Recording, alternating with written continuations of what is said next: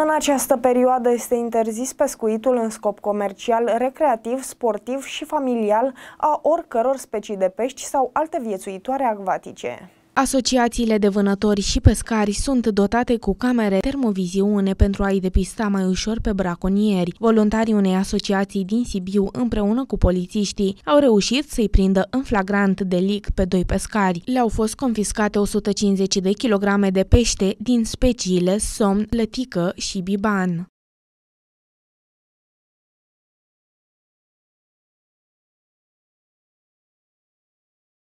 Se interzice pescuitul în scop comercial și recreativ, sportiv, al oricăror specii de pești, crustacee, moluște și alte viețuitoare acvatice vii în fluviul Dunărea, în zona care constituie frontieră de stat cu Republica Bulgaria, pe o durată de 45 de zile în perioada 24 aprilie-7 iunie inclusiv. Faptele de braconaj constituie infracțiuni și se pedepsesc cu amendă și interzicerea dreptului de a pescui pe o perioadă cuprinsă între un an și trei ani.